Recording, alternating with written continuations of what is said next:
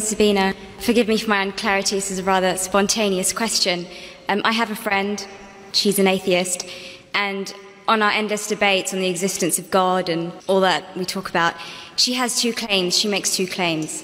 When I pose her with the question of what the Quran says in terms of the existence of the universe and the world and how it states many facts, she turns around and she says, Well, that knowledge was not just for the Quran, it actually existed before the Quran. There's um, scriptures, there is books before the Quran was even written, detailing information about the universe. So it's not just this knowledge that is superior to the Quran.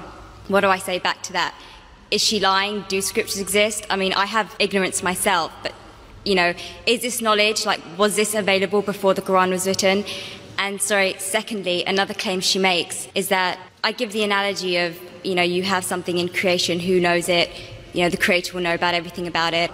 And I talk about, you know, if there is no God, how can we possibly exist if you keep on going further and further and further and back? There's no end, and if there's no end, how do we exist? But then she says, well, from a religious point of view, you say, well, God is the end. Well, I say, as an atheist, who says God is the end? Who created God? That's my question. Thank you. Sister has posed two questions which are again common. The first question is that all the things mentioned in the Quran were already present before. So what's new? It's present in other scriptures and other books, etc. That's the first question. The second question is who created God? As far as the first question is concerned, I do agree that certain things were present in time before the Quran, but they were not called as established facts. They were not called as established facts. For example, the thing I quoted that the sun, previously people thought that the sun rotating. There are certain things which were there in the Greek history and the philosophical history. But for example, when the Quran speaks about the spherical shape, of the earth. These Greeks, they believed that the earth was spherical, but no one believed in them.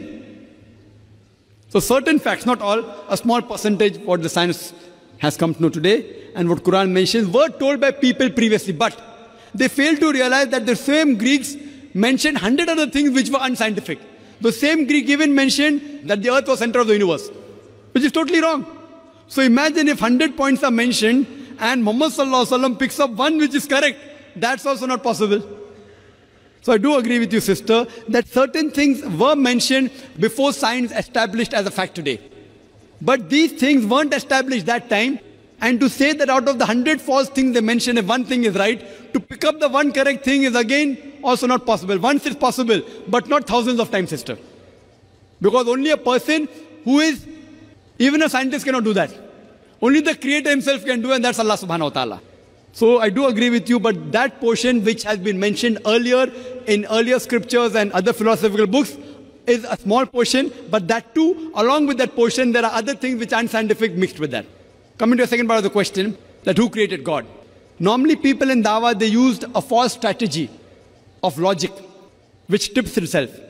Most of the people, when they try to prove the existence of Allah subhanahu wa ta'ala, they say that everything has a creator. For example, who created this book? How did the book come into existence? Somebody created it. Who created it? And they go back. Where did you come into existence? Who created you? Your father. Who created your father? The grandfather. And then goes to God. Who created this microphone? Created the factory. Who created the factory? And then they try and prove who created the sun? God. Who created the moon? So based on this, they try and prove that everything has a creator, which according to me is a wrong logic. In my strategy, what I spoke today, I never said everything has a creator. That is the atheist who told me that the first person who will tell about the mechanism of this thing is the creator. I never said that. I say every created thing has a creator.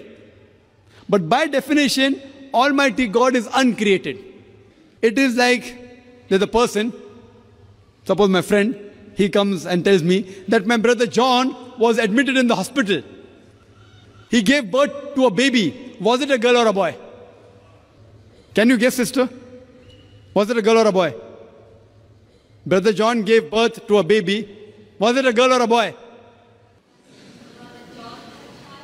Brother John was admitted to the hospital. He gave birth to a baby. Was it a girl or a boy? Can you guess? You can't guess. Can anyone guess? How can a man have a baby?